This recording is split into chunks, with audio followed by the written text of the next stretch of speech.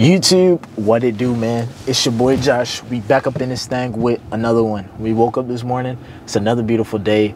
All praise to the Most High, man. Let's get it. Hey, bro. As a man that has gone through a season of depression, and the, most of the men that I work with go through things like depressions and things of that nature, I would tell you the one thing that will keep you in a in a depression, keep your life feeling like it's stuck on hold, feeling like there's nothing you can do. The worst thing that you could possibly do is have an idle mind. Is to be idle. Is to is to be completely still and not do anything. You see, a lot of us we whatever the source of our depression is to counter it, the depression puts us into a position where we, we crave comfort the most. We crave sticking to ourselves and not moving the most. We want whatever can bring us comfort because of something that is bringing us so much discomfort. And I'm here to tell you guys that an idle mind is the devil's workshop, bro. An idle mind is the devil's workshop. When we are just stuck with ourselves, stuck with just nothing but our thoughts, not moving in life, our thoughts within ourselves become louder and louder, louder and louder the more idle that we stand. The longer that we accept that this is just like what life is going to be. The longer it takes for us to realize that the only thing that's going to bring us out of this season of depression is ourselves. We cannot look at anything else to bring us up out of it. The only thing that will get us from having an idle mind or to stop being idle in general is if we just move, if we continue to move. If we continue to not let something shackle us down and hold us slave to it. Don't, it's one thing to be in a, in a depression, but what, what makes it worse is that we become slave to it. We actually think that what put us into that depression is actually true.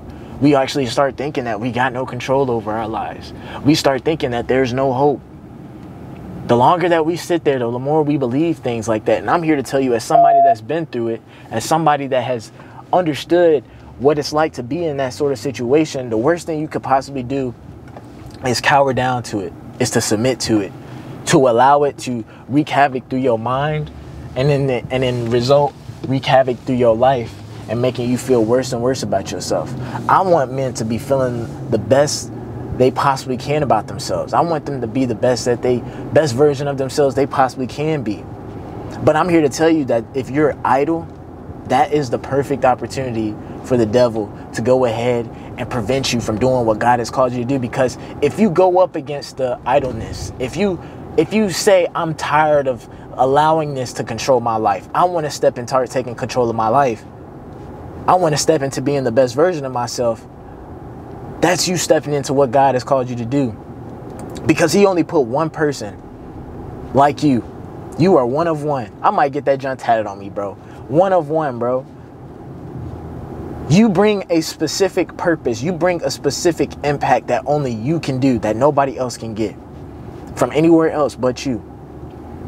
The world needs to feel your, your, your, your impact. The world needs to feel that you were here. And when we allow the idleness and we accept comfort to continue to shadow over our life, bro, the less likely we'll believe that we can step into the purpose God called us to be, bro. Don't isolate yourself. Don't allow your mind to just not be productive and not focusing on trying to make something better. Because when you when you give your body nothing to do when you give your mind nothing to do it slowly starts to deteriorate. When you don't use your body your muscles start to deteriorate. Same thing that happens with your mind. Same thing that happens with your thoughts. That's why it's so pivotal so important for you guys to be working towards your purpose. Getting up and doing something being proactive it ain't about oh i'm it, what's the point of trying i ain't gonna get no results anyways i ain't gonna the, the fact is you trying is you stepping closer to what God has called you to be, and you're stepping away from whatever sort of depression that is casted upon you. If you want to defeat that, bro, you got to get to moving. You can't allow yourself to be isolated. You can't allow yourself to be idle anymore. You have to take control of your life and take action. Start walking. It's going to be uncomfortable. It's going to feel weird at first. But it's either that or we're just going to continue to live this hopeless life that we've been living and continuing to feel bad about ourselves. As somebody who's been through it, man, find out what is causing you to feel so bad about yourself. Find out what the source is, what the where the source is that's got you feeling so bad about you. Cut it out from you. Get rid of it. If it's the alcohol, put the alcohol down. If it's the weed, put the weed down. If it's the gambling, put it down. It's not worth your life. It's not worth you thinking whether or not you're worthy of being on this earth or not. You are worthy of being on this earth, bro. You can't, like God didn't put you on this earth so you could be miserable forever. He put you on this earth so you can persevere and so that you can inspire others so that you can basically show that if he can do it for me, why can't he do it for you? That's what I'm doing for y'all boys. I know what it's like to not feel confident. You want to know one quick way to continue to feel not like you're not confident? To con- continue to stay idle. Continue to stay comfortable. Continue to stay in this mindset that, oh, somebody or something is just going to automatically poof and it's going to make life better. No, Life is not going to be better unless you decide to make it better, unless you decide to move forward, the, unless you decide to stop being idle. I know it's hard, fellas, but the only way that you can get confidence is by putting the work in. If you don't put the work in, you're going to start feeling worse about yourself. You're going to start le- allowing these negative thoughts to come come into your mind. What I want you to do is I want you to go in, put the work in, and then reflect over your di- reflect over your day, and then feel confidence realizing that, man, I just did that. I'm still here. Yeah, it was hard, but I know for a fact that it's gonna get me better and I'm headed in the right direction. I want y'all feeling confident each each and every single day, more confident each every day. For each time you put some work in, you feel a little bit better about yourself. You can't feel better about yourself if you're not doing nothing. You can't feel better about yourself if you're staying still. You will never know what you are capable of until you decide to get on the road and go, bro. You'll never know how fast you can go until you decide to get on the road and go, bro. You over here sitting there saying a whole bunch of excuses for yourself. All just to, and you're telling yourself these excuses all just so you can be comfortable. Also, you don't have to do anything. Also, you just don't have to take action. If you continue to set yourself the excuses for yourself, you can best believe your life will continue to stay the same. But the second where you want to sit there and hold your the second you hold yourself accountable realize that you you deserve more than this that you can get better than this that this is not what life um, is a, this is not what life is um, going to amount to be life is going to be something greater and you're going to make it something greater hold yourself accountable to a different standard a higher standard don't try to lie to yourself saying, nah, I don't even really want to be jacked. I don't even want to, I like my body the way it is. Or I like the way that my money is the way it is. Or I don't need that and I don't need this. All because you scared to get out of your comfort zone. But yet you going home every single day, can't even look at yourself in the mirror, thinking the worst possible thoughts about yourself. Telling yourself that you are not worthy. Come on, bro. Would you drive? Some folks out here don't know how to drive, bro. I swear. Come on, dog.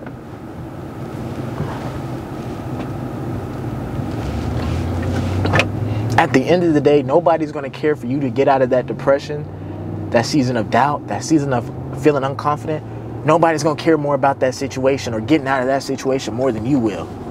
So for for you looking to the answers, thinking some some random girl is just gonna pop up at your front door that's gonna get you out your depression, or some random guy that's gonna offer friendship to you that's gonna pop you out of your depression. If you think that's what it's gonna be, is by some sort of luck, by some sort of miracle, that God is just going, you know what I'm saying? I'm gonna just bail him out to where he can just stay comfortable and make his life better. I'm gonna just Come no.